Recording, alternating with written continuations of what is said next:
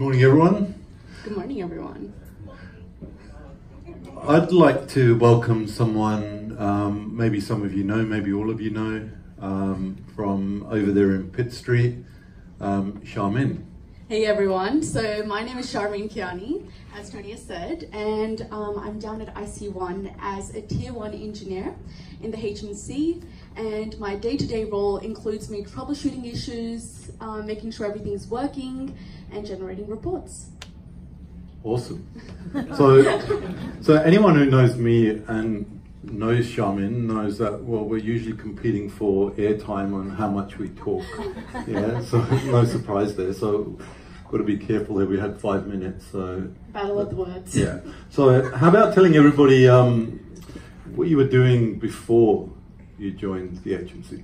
So before I joined the HMC, I was working as a coding instructor and also as an instructor teaching corporate professionals how to use Adobe products and Microsoft products as well. Um, I would work on little projects here and there as well, and I was studying at University of Sydney, doing my bachelor's in computer science and technology. And funnily enough, that's how I met um, Tony as well. So that led you to, so after we met at um, one of your careers fairs, how about telling everybody about how that went?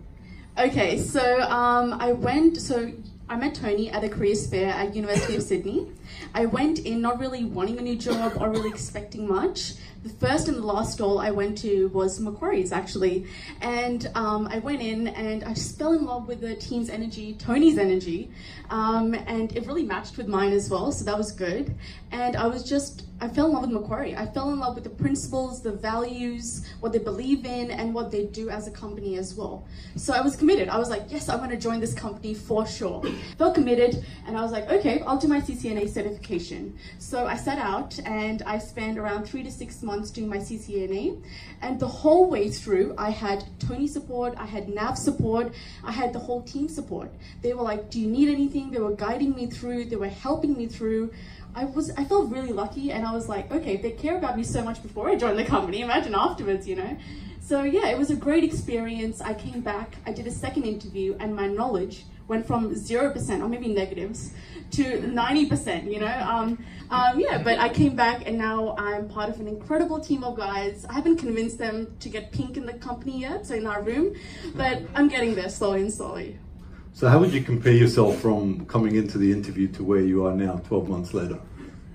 Um, tremendous change, completely a different person. Um, my obviously technical knowledge has gone from, as I said, zero to 100. Now I work with infrastructure, I work with companies, I work with all sorts of devices. So that's a great change to have in yourself.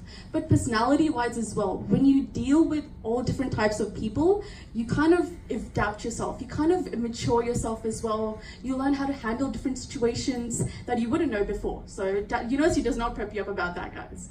Um, so that's a, a completely different person. I feel myself very lucky to have gone through that because not many people do. And yeah, that's a great thing to have.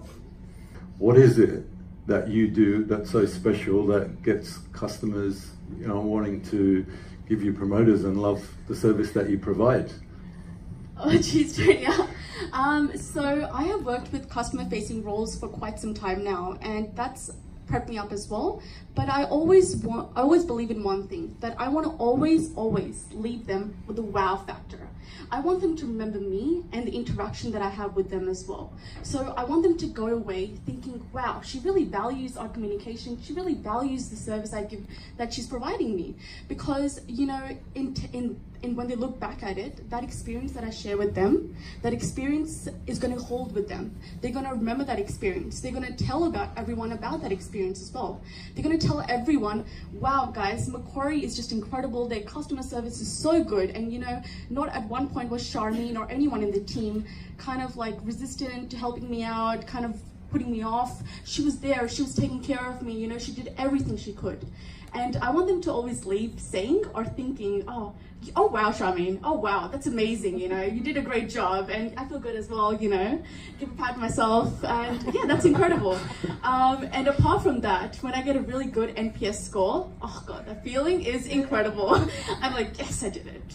Um, I always think, you know, that I'm contributing, that score, that little score is going to contribute to Macquarie getting 80 plus 85 plus, 90 plus NPS score. And that's great. Knowing that you contributed to a company that you really love and that you really care about, and you're helping them be known for what you believe in. It's incredible. So whenever I go and I, whenever I go and help out a customer, I always give them my 100% because I want them to feel about Macquarie what I feel about Macquarie, which is great. Oh.